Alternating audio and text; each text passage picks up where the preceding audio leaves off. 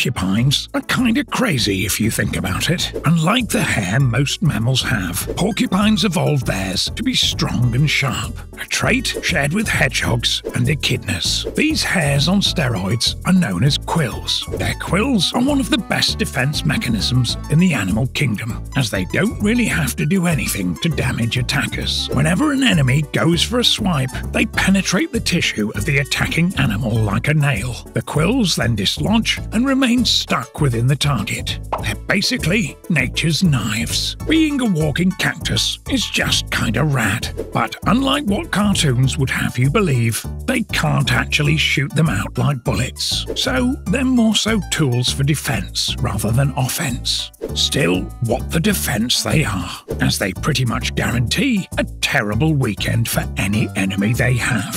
Follow and subscribe to the Biotaverse for more animal content.